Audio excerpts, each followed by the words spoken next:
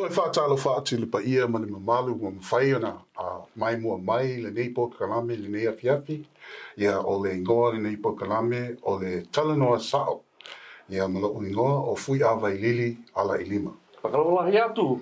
Welcome to the Talanoa Sao. My name is Elitiki Lee. Talafalava, and my name is Liao Tilsley. uh, ko te mau te maunga, uh, ko te awaroa maharu te awa, uh, ka hokianga me uh, uh, hā moa ngā tangata, Mm. uh, ko aia whiti no hā moa, uh, ngā iwi, uh, ko Ngāti Toro te hapu, uh, ko Piki te aroa te marae, uh, ko Jack Junior Nelson tōku no, o reira tēnā tātou katoa. Ah, kia ora, right, so welcome to Talanoa Sa'o. We are on at the and we are here for you to have some strong discussions. And first, as we always do, we'd love to start with some roto. So we'll ask for Puiawai to send us off. Let us pray. Father God, we just want to praise and glorify your wonderful name this evening. Uh, Lord, we just want to lift you up and praise your wonderful uh, kindness towards us. As uh, we journey throughout this life, we know, Lord, that we can do nothing without you, but with you we can do all things. So as we begin this program, Lord, we ask for your spirit to just fellowship with us. And we ask, Father God, that you anoint each and every one of us, especially our special guest, Siaki. And I ask, Father God, that you just uh, watch over this program and speak to all of our, our audience who are listening right now, Lord, that they can they can hear the message that we're giving out. In your son's holy and mighty name we pray. Amen. Amen. So, this is Jack Nielsen, um, as you said, and he is one of the co hosts uh, for um, Native Overstayers. Yeah, uh, which we have been on actually. we had some amazing awesome. conversations.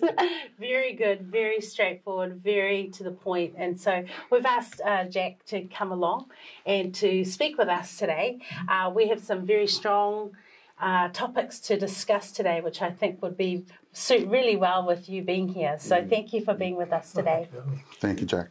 Yeah, so uh, actually, I want to know. So, Jack, uh, would you mind just giving a very brief about yourself, uh, just so that our people out there sort of know uh, uh, who you are, where you're from, uh, and then, then we do have some awesome questions, Some questions to to get into. Yeah. Again, thank you very much for having me. Um, it's, it's a real uh, blessing to, to be on the show. Um, I have been watching all your episodes and uh, I'm a very big fan. Uh, so Oh, we got one. On. There's at least one. Um, I guess a bit about myself. Um, I was born and bred here in Auckland. Um, I come from a Samoan Danish family, so on one side, and then a Māori Scottish family on the other. So I'm a bit of a fruit salad, probably like yourself, and like your kids. And um, I guess in terms of uh, what I do these days, I mean, I do come from a background, sorry, in education and a bit of affirmative action program, so maybe we can get into that a bit Awesome, later. awesome. yes. Uh, and a bit of a background in rugby and fitness. Uh, and these days, uh, as Lau mentioned, um, we have a podcast, Native Overstayers, uh, which I do with my cousin. So it definitely keeps us busy and keeps us sort of abreast of what's happening out there in the world. So is that on YouTube? So we can. Yeah, so the podcast uh, is uh, off, run off my cousin's uh, Facebook page, Sure. Productions. Um, we find when we do put it on YouTube, some of the content that we cover, sometimes, you know, it can, can be suppressed a bit or, or Yeah. sort of struck off. So we're very mindful with that. Uh, but definitely, um, Facebook is our main um, source of getting the podcast out there. And we also use um, uh, Spotify and iTunes and Apple Podcasts Sure. uh, to get it out on the Can, can you just please repeat that? Facebook, what, what is the Facebook page? So the Facebook page is it's under Denrick Productions. Denrick. Denrick Oh, yeah. Productions. Uh, a, maybe we could just put that as Yeah, a we'll link put in, um, when we when we put this on our Facebook Yeah. page. Don't worry, we'll put it on there for you. All good. all yeah, good. sounds good. Uh, so yeah, now I was really interested because I, you know, some of us, myself uh, included, you know, we look at some of the crimes that have been happening, and I have a bit of an issue with um, uh, some of the cultural reports being Oh, yes. used to discount sentences. Yep. And I know that if someone is, you know, the Palangi or if they're Asian, you know, they don't get they generally don't get it, but I don't know. I don't know for sure. You'll so be surprised. these are some Ah, these are some questions that I wanted to ask you because I know uh, because Jack is actually, I believe, a cultural report writer. Section 27. Section twenty seven. I have an issue with the word culture as well. So, So- that's, oh, that's great. a bit, that's a bit more. Can you just, uh, uh, yes, what is that? And and even that word about culture report. Sure. Let us know what that's about. So I guess again, um, a Section 27 report uh, is based on the 2002 Sentencing Act. Section 27 of that act allows either a report or a speaker or cultural speaker that can come to uh, an offender's sentencing to basically give the judge a bit more information, or they can have the report prepared and then go to the judge before the sentencing so they can then make, I guess, the best decision in terms of that particular sentence. Um, now, funny that you mentioned that um, maybe Palangi people and, and saying that well, Asian people aren't don't get them. I'd probably say twenty percent of Wow. the clients that I have are Palangi or Asian. Ah. So these particular reports, Section 27 reports, are open to anyone as per the legislation. Um, they are used mainly by Maori and Pacifica, and I guess that's where um, a lot of the a lot of the issues can arise. Um, I guess the big thing for the reason I guess my sister and I got onto these reports. My sister's actually a family lawyer. And so um, she started writing these reports while she was practicing as a lawyer. She actually writes, there's the criminal um, Section 27 reports, which I, I, I basically do. And she also does the family um, Section 27 reports. So there's actually two kinds, well, that we write at least. Um, and again, her experience as a lawyer um, and sort of having an understanding of the family court can help in regard to writing the family court um, reports. I myself, I write the criminal. What I guess what the overall uh, thing with our again our um, consultancy is that it really is based on it's more of a ministry for us. Um, if we think about what Jesus said in Matthew 25, he said, What you do for the least in the kingdom, basically the most vulnerable people in society, Yeah. you do for him. Now, when I read that or when I understand that, obviously for us, um, the unborn Yes. are the most vulnerable as Yes. well, we're pro life, right? Yes. After that, you then have babies, children, and teenagers. Jesus also tells us to go and visit people while they're in prison. So again, for us, that's that's basically uh, it's sort of the cornerstone while we do our um, our report writing. I know that there've been a, a number of cases of late that have um, you know come out where I think there was a mother uh, up north um, that basically killed her baby, and um, I believe she got home detention. She did for She 10 did, months. Ten months, right? So Yeah. you know, from from basically um, someone that could be charged with murder to then get ten months home detention. I guess without sort of having read the particular report or seen what other issues were underlying there, I can't particularly comment. But what I will say about this is that the offenders that we sit down with, and you've, you've said it before as well, they will often come from a broken home. Mm. They will be subjected to family violence, physical violence, sexual abuse. They will be exposed to drugs and alcohol at an early age. Mm-hmm. Um, they are probably involved with gang culture. Mm. And if we're talking about Māori and Pacifica, we all know sort of the statistics and, and around Māori gangs and even for Pacifica. And I'll probably say for Pacifica more recently with the 501 deportees. Mm. That's what I Yes. found a lot of them have uh, sort of gone there. When you have, I guess, the reports about trying to find the term they use is a causal nexus or a link between what happens to you as a baby or as a child hmm. or as a teenager to sort of help explain why you've offended or why you are facing those particular charges. Because the report themselves they're they're focused on the particular charges an offender is facing at the time. Does that mm-hmm. make sense? Mm. Sure. and so uh, when whenever I go into whether it's Mount Eden Prison, Paremoremo, whether it's um, Spring Hill, and I sit down with, with one of our clients and they say, well, what's a, what's a cultural report? What's a Section 27 report? And the easiest way I can explain it is, is that if you could have um, a chat to the judge before he passes that final sentences, or have your words recorded and read by the judge to help him better understand why you've offended, what would you say? And what I found with that sort of approach is that I guess where maybe our reports, maybe, and I can't speak for other report writers, but there's we have a big emphasis on recording what they say. Now it's not word for word; uh, a lot of it's paraphrased, but that's why we have multiple, I guess, interactions or interviews with um, with our clients. So, for example, I'll sit down with someone maybe two or three times, not just one and done, because when you sit down with a stranger, you might not get all the information out that you need. Mm. Yeah. And so, you know, we'll go back and then I will go over the report with them that second and third time till they are happy with the report. And then that's what goes to the lawyer. Now, I will say there are particular lawyers that have uh, issues with our reports because they're, they don't present offenders in the best light. Hmm. Sure. And the whole point of the report is you want it to be balanced. Mm. You're not making excuses. Culture is not an excuse for committing any crime That's right. right? Uh, Just because you know you're from a particular culture. When it comes to culture, though, it's not. We're not just talking about ethnicity. Yeah. Yeah. We're also Yeah. talking about drug culture. We're also That's talking right. about gang culture. What have you? What sorts of cultures have you been exposed to? Mm-hmm. So while these reports, I guess, are um, nicknamed cultural reports, again, it's not just about ethnicity. It's not just about tikanga, or um, it's not just about anganu, right? Yeah. It's about what different cultures, I guess, in that context, they've been exposed to. But does that make sense? Does Yeah, make it sense. does. It does. Yeah. The so uh, there's there's two sides, but I, I really want to know how is the veracity with your clients? If you're like so you're sitting down talking with them, is there the possibility that, that, that some of them are, are onto it enough to know that if they give a bit of a sad sob story, that they'll that the judge might be more lenient towards them in that way? Is that a does can that happen? have they been sexually abused? Is probably the biggest. Is, that, is that the most the most likely way for someone to um, elicit some sort of sympathy on the judge? Yeah, and I know I know this because I've also had disclosures to myself as well hmm. from young people, and it's actually it's not as easy as saying, "Nah, you're just looking for the sympathy." Right? That- Yeah, yeah. That's actually nearly illogical Yeah, when you've been in the field. So, Yeah. but I mean, are there some? Do you have you ever come across some who are purposely trying to embellish in a purposeful way? I think I have, and I've put that in my report, which is why I said, Really? which is why we get okay. pushback. Right. Now, for Yeah. my sister and I, we've never uh, we've never not got a discount for a report, if that makes sense. Yep. And I think that comes down to our process. Uh, we were very lucky in that my sister, or our mentor, is um, Associate Professor Khylee Quince. Yes. From the Faculty Yep. of Law at, uh, at AUT.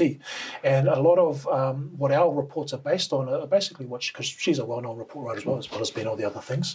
Um, and with our reports, basically, if you, fo- if you follow what's in the legislation, as in you look at those family, whānau, community, and cultural and personal factors, if you follow that and get the right information for a judge, that's what the judges want to see. I know that um, there's a lot of comparison between that and pre-sentence reports. Now, I'm very grateful because I guess with our reports, they're kind of the last report in the chain, so to speak, mm. before the sentence. Because usually that pre-sentence report has been done. If there's any psychological reports that need to be done, that's done. And then there's, there's even a sentencing indication. So we're kind of at the back end. So what we can do is utilize all those previous reports mm. to see if it all matches up. And the interesting thing is that sometimes what's said in a pre-sentence report, and I'm not trying to bag pre-sentence reports because they're really good because they give us a, a place to sort of start from, mm. Doesn't match up with what the client says, whether they don't necessarily agree with it. So us sort of being there at the end of the of the chain means that hopefully we get the, the right amount of information. Do I think that people can try and game the system and game the reports to get a discount? It can definitely happen. Um, if I sense that, I'll put it in my report, which is why I, I said that. I think that's uh, that's I mean that's powerful. Yeah. well, uh, that's because if you don't do that, all you're doing again, like what we've sort of talked about before, is that people know how to game the system. They're just trying to get that discount, and again, the discount, whatever the percentage of the discount is, if they're uh, at a place where they can have their sentence under two and a half years, then potential for home detention and all that sort of stuff. Um, I have to say, in my experience, I mean, I've worked with, and I'll say it here, I've worked with child molesters, I've worked with rapists, um, I've worked a lot of people for, that have um, domestic violence, a lot of drugs, methamphetamine, as we know, just ripping through our community. A lot of 501 deportees that have come back and come back from overseas.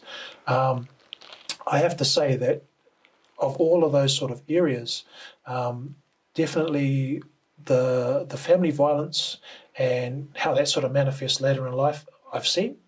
Um, the sexual abuse, not so much. As in, if someone's sexually abused as a child, doesn't mean they're going to be a sexual abuser when they grow up. But they'll be very angry, Yeah. which then leads them into other, Other crimes, crimes, yeah, yeah, the grievous bodily harm, those sorts of um, those sorts of charges. So, So just to jump in there, uh, uh, from your experience, uh, what would you say is one of the more core uh, one of the more core causes of why we have uh, so much, perhaps antisocial behaviour or you know tragic criminal sort of activity coming from certain groups. I, I wouldn't actually say Maori because Maori are ninety-seven percent Maori are not in prisons, uh, even if over half of our people in prisons are Maori or Maori Yep. uh, linked. But what would you say is a common? Is, is there a commonality Between the different Yeah. fatherless homes. fatherless homes? Yeah, we keep coming back to that, don't Keep we? going back to that. Yeah. It's fatherless. Fatherless homes. Fatherless Fatherless homes. homes. I guess the Right. other thing is uh, when we are doing our, and I I guess it goes back to the industry as a whole, in terms of, I mean, obviously their um, their tax the, the reports are funded through the ministry, which comes from taxpayers. So I guess in a way, I guess Yeah. we're public servants. Well, hopefully, we don't get a wage freeze. Wait, wait. And- but I know that there's a, uh, there's um, there's a lot of pushback in terms of the amount of money being spent, mm. and, and here's what I will say: um, there are people that write these reports for free, mm. there, and then there's a range right up to I believe I saw someone charging six thousand dollars. If you're charging six thousand dollars for a report, crazy, that's ridiculous. Wow. I mean, we don't we Wow. charge nowhere near like that, mm. not even a quarter. Um, but then I guess it brings up the other question: is to be a lawyer, you need a law degree. to be a doctor, you need a medical degree. There's no qualification or um, degree you can get as a cultural report writer. So how do we how do we sort of get value out of what how, how do we differentiate cultural report writers and what they charge? Sure. I guess for me and my sister, we come from a broken home.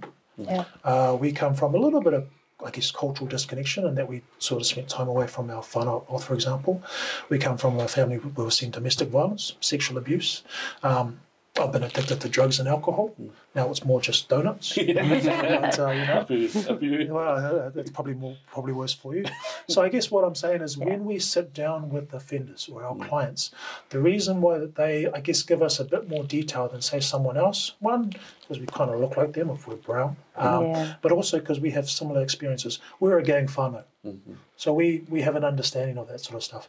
I know what it's like to live overseas. So when I sit down with my Asian and Middle Eastern African clients, I know what those sort of migrant um, uh, factors can be. and- It yeah, can be. yeah. It's not easy going to a different country, and you know not being able to adjust or be able to um, earn the sort of money that you did, say back in wherever you come from.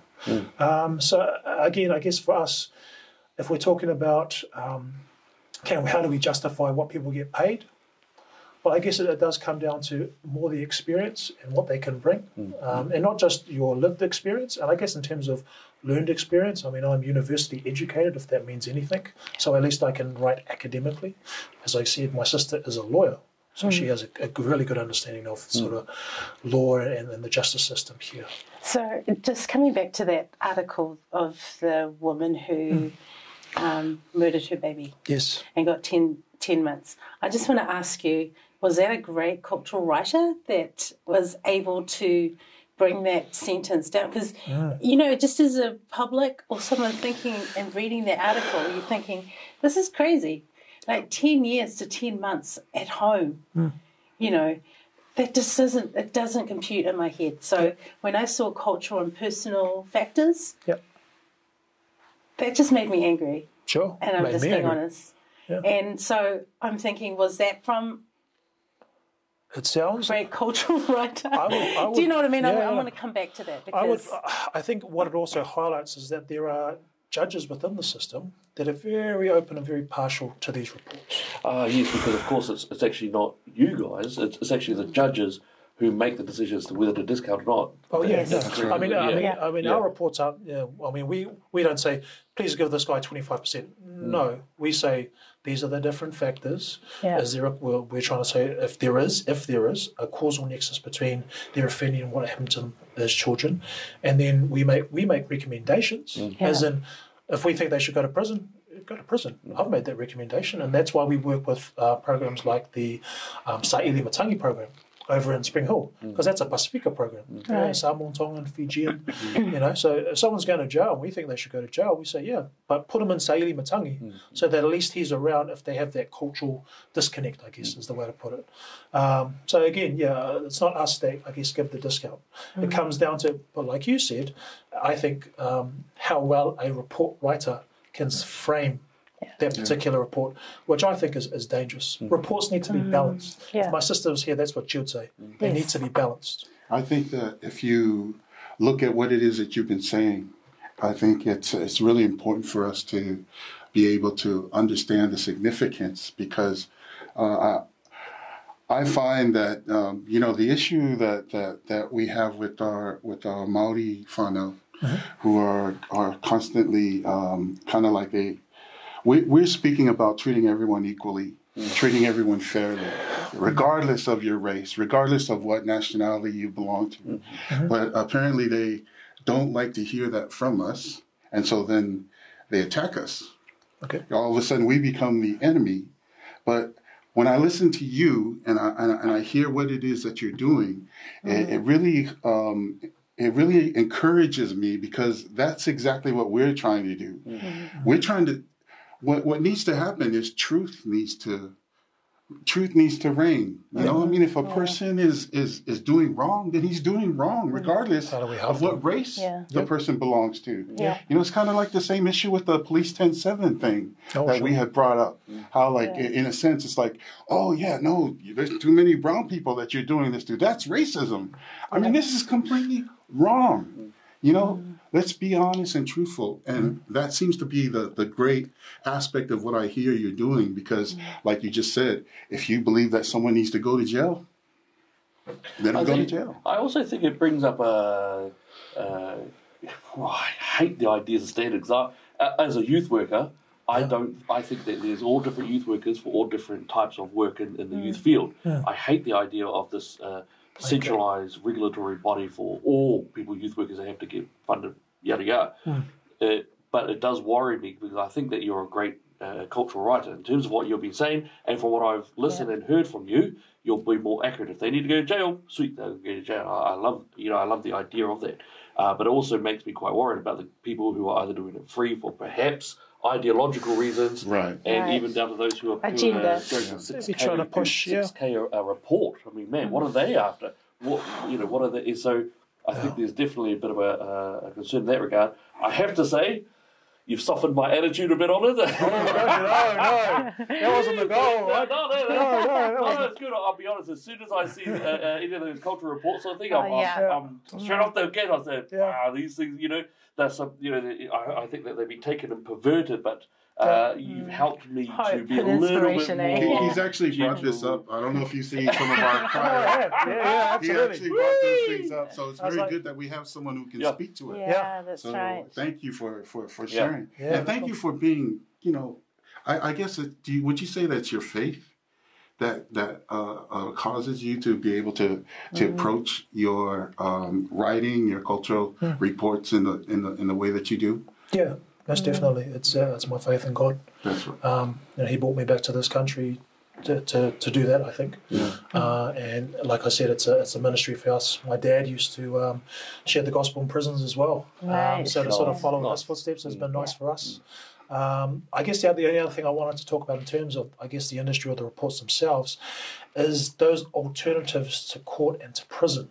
Because obviously within the New Zealand system of late, we also have the uh, Te Pae Oranga or the Yes. um, community iwi panels that are out there in Papakura That's Marae. Yeah, right. And, and those are really important, and, and obviously they're aimed more at sort of low level offending. Yes. Um, and obviously, it, the one thing I, I sort of when I hear that, well, well, when I when I started learning about that, is the power of the arresting officer. Mm. And mm. obviously, it depends on the crime, but you know, you have, I guess, as a, as a police officer, you know, you have the potential to to steer someone down that path as opposed to going through our our judicial system, which, Right. as we know, can sort of have problems. So. Mm.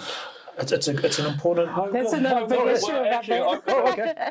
so, so in the last uh, when we were all campaigning and stuff like that, one of the brothers, uh, you know, one of the boys over in West Auckland, Mm. uh, he someone was sla- slash up damaging signs. It ended Yeah. up being something like seven thousand dollars damage That's every right. week. Oh, yeah. Now, now one of the guys staked it out and found the guy, Oh, and he was slashing up. That guy ended up giving the our our brother a Smashed massive it. slash across wow. the forearm. You know, still was spitting text. Ah, you stole our land, stole our land. Oh, you right. know? Yeah. um, uh, and all this sort of stuff. The, the cops came and grabbed him, but then they gave him that Hmm. Did he go alternative to- justice. Okay. And this guy was unrepentant the entire way. No remorse. yeah, no remorse, didn't care. And basically, everyone else's fault, everyone else's blame. Uh, Be you interested know, to see where he is now. If yeah. he's found got himself into trouble again. Yeah, yeah. Well, I mean, and so I, I that's where I have a bit of a I think the ideas of it can go. If you're Palangi, is there a It's alternate open. justice so it's open for anyone? No, so that, that reminds open. me of the first years of whānau ora. Mm. When the first years of when, when whānau ora was being piloted, I loved it Yeah. because I could use it for my clients who were Palangi and also the ones who were who were Pacific as well. Yeah. Now, of course, it's starting to get tied up, and now it's becoming a little bit more, unfortunately, more Maori based. Is in Sure. it's starting to exclude Yeah. specifically. So can I can I ask you just point blank? Have you seen any white privilege in your, your line of work? Wow. Straight to it. Hey, hey! Well, I guess as someone that has white privilege, Palangi privilege or Pākehā privilege, um, the Palangi or uh, Pākehā clients that I've had, um, the interesting thing about them is the ones that I've had, when I think about them, they've grown up in the same areas, oh, Otara, South Auckland, or if I'm talking here, mm-hmm. in the same areas right. as all the Māori and Pacificas. And they've- a lot of them have followed down the same path, so it's and a lot of them broken homes mm. Mm. Mm. broken Right. homes, you know, and they got into gangs and they got into to culture early. So um, I can't. I guess. I mean, we don't deal in um, white collar crime. I guess. I mean, I haven't sort of had any fraudulent case or anything like that. Actually, no, I lie. I did, um, but that was. Um, Not a Palangi.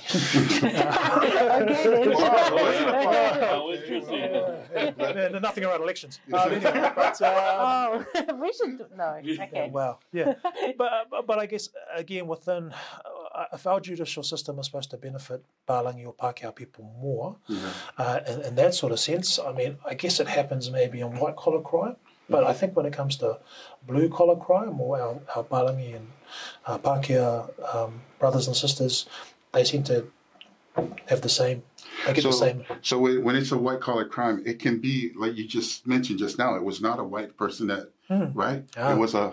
So Yeah, it does. interesting. Yeah. So what you're really talking about is different socioeconomic. Different socioeconomic, Levels. different Yeah, levels of definitely privilege. think that economic privilege. Yeah. Yeah, And how- yeah, how- So it's not. Right. What sort of lawyers you can get? yeah, yeah, yeah, Yeah. yeah, Yeah, yeah, definitely. of course. Uh, that's all. And even I think I think economic privilege does exist. You know, Oh, hell yeah. schooling, resources, extracurricular activities, all, all across the board. I think definitely that's that's in there. Yeah, Right. absolutely. Yeah, yeah. Um, look, I, I know we're we're nearly we're actually we've been talking for so long. We've gone we're over, close sorry. to our time. No, it's But, fine. but I actually did want to bring up, Yeah. and I wanted all of us to actually be able to discuss something that's uh, uh, really important.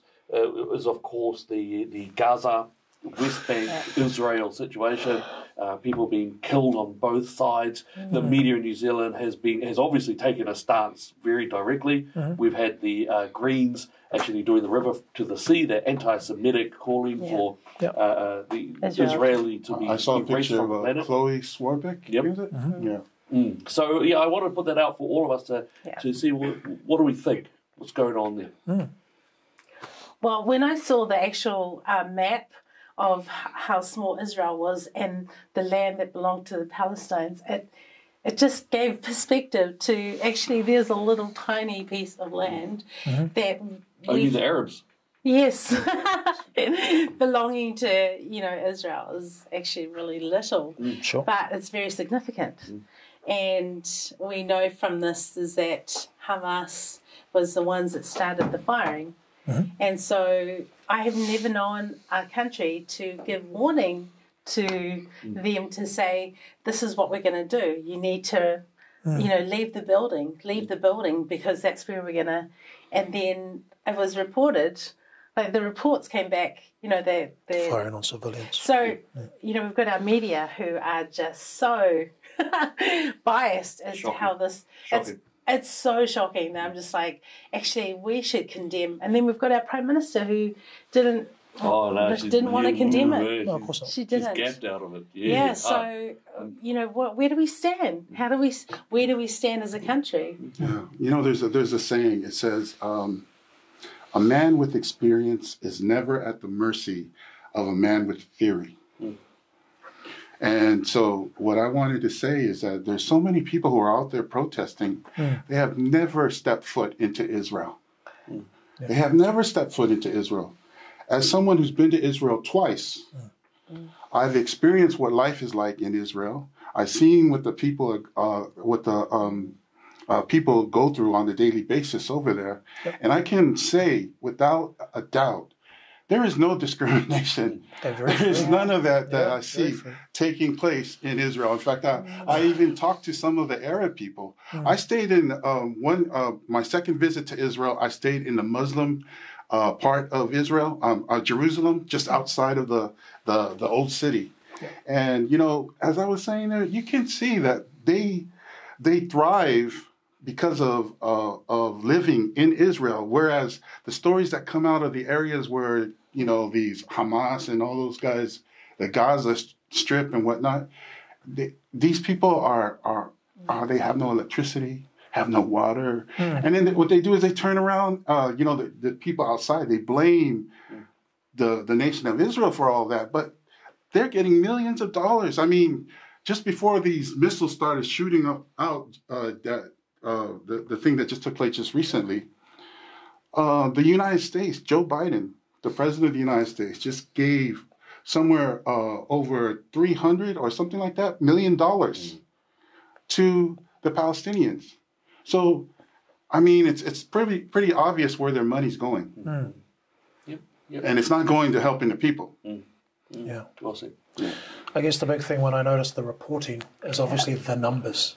So if you're watching the media and they're saying, you know, 100 um, Palestinians have been killed here and only 10 Israelis, you also have to remember that Israel have the Iron Dome, which is their anti-aircraft, uh, anti-missile defense system, which basically means even though probably Hamas has fired over more rockets, Yes. they've been intercepted. When I guess they've retaliated and sort of tried to target those installations that are firing them, Hamas aren't dumb. They're putting them in civilian areas. That's right. So obviously, when if you're going to Human be firing shields. human shields, so what does that tell you about you know, How much they care about how much people. they care about their don't own about people? their Yeah. people. It's pretty obvious. Yeah. They don't Yep. care about their own people. So crazy. Yeah. And I guess the only other thing is, you know, I saw a, a story in the news last night about the um, Wellington Phoenix Israeli player. Yes. And it was obviously, yes, you know, yes, getting yes, his flag yes. out and being Yep. patriotic, and Yeah. they're sort of painting him and, oh, is he going to get reprimanded? And then, you know, they're sort of comparing him to the, the Palestinian players that play over in the UK. Like, oh, look at these heroes. Mm. Well, at the end of the day, you know, I think we should be able to protest. The sport's a bit of a, a tricky one, but at the end of the day, you know, yeah, yeah. give Yep. them the, the right sort of coverage. So, I, you know, it's, it's quite interesting too because I, I know that, that massive picture. Uh, you had Chloe, Ricardo Menendez, and uh, Golriz, Yeah. and, and you couldn't help but think, you know, if Ricardo and Chloe went over to the West Bank to Gaza, you know, they they won't quite find the wonderful acceptance of their yeah. rainbow That's right. identity. yeah. That's right. And it, it'll be quite lethal what they, they find. So, Yeah, yeah. so we're not sure exactly what you're trying to say. And, and so, you know, if you are trying to virtue signal, I, I find it fascinating that you guys will always try to virtue signal on the Israeli side of the border. You'll always try to protest on the Israeli side of the border. Because you're know safe. Because you know I you know full well that you'll be safe. Even Marama Davidson, Yes. when she protested, she was going. She was protesting against the Israeli uh, blockade. She knew full well that she was going to be okay. This this kind of reminds me of those hitchhikers who had had tried to go into like uh, the Middle East and try to show how Oh. safe Oh, it yeah, Yeah, was, sure. And then and then all of a sudden, yeah, yeah, yeah, Yeah. yeah. they they Very get, sad. found them. And, Yeah, Yeah. very sad, very tragic. that one. Okay, well, looks like we've come to the end of our time. And as is our want, we've got to give it up to the big boss upstairs. And uh, tonight we would love for Jack to send us off in Karakia. Sure. Awesome. Okay, let us pray. Uh, Father God, we thank you so much again for this time that we got to fellowship this evening. Lord, we thank you that we can come to a place and a space and share our views and share our opinions, but know that you are at the uh, the core of the you are at the core of our lives, and that our views are all influenced by you, Lord. And all that we do, we pray that we will be able to follow your purpose, and um, that we'll be able to bring glory to you in all our actions. Father God, I ask you to uh, pray over my friends here, uh, Papali, uh, Lau, and um, and Elliot. Pray, Lord, that you will continue to bless them and their families, their program Talanoa Sa'o as it continues to bring truth um, to, to our audiences. Pray nothing but uh, blessings upon them. So again, Lord, we thank you for all these things in Jesus' name. Amen. Amen. I'll say for Fall safe.